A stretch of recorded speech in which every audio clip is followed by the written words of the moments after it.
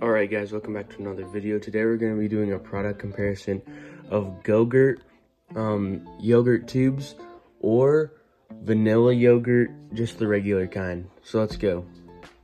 Alright, so to start we've got um, yogurt, the the yogurt tubes, and um, I really like these because it's in a nice square packaging. It's like um, good enough you could fit a couple inside.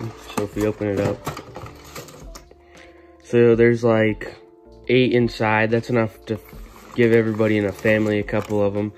Um, these are nice to put inside the fridge or the freezer. Um, and they're, they're cool uh, shapes and stuff. So I'd give these maybe a 7 out of 10 for looks. Alright, so the normal yogurt, um, it's a nice container you can fit inside the fridge. It is kind of big, but it is big enough that um, enough people in your family will be able to get some yogurt. So I'll give this one maybe a uh, 5 out of 10, just because it's not as cool looking, doesn't have as much details.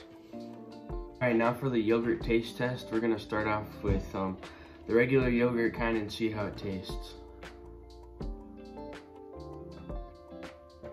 I'm going to give it a 8 out of 10.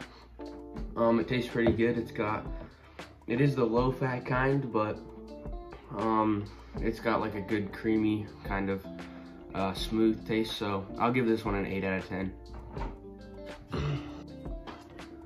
All right, now we're gonna do the yogurt um, yogurt tube. We'll see how this tastes.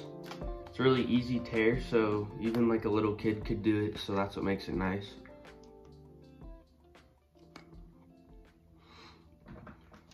This is probably a 9 out of 10.